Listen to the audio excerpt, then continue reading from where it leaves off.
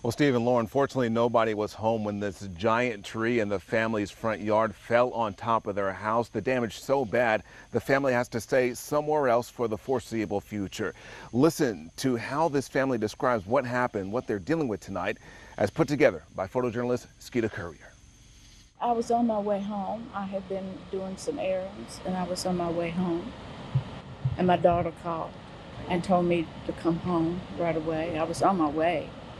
And she told me my house was gone, but my dogs were okay. She had my dogs. Like, what in the world? And then all of a sudden, boom, boom, boom, boom. And I mean, the house is gone. It's just gone. The walls are pushed in. There's big limbs through the ceiling. There's water everywhere.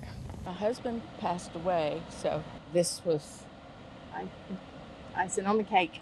It was just November, so it's still dealing with all of that, you know, and now, now this. So it's been a hard year. it's been a hard year. Yeah.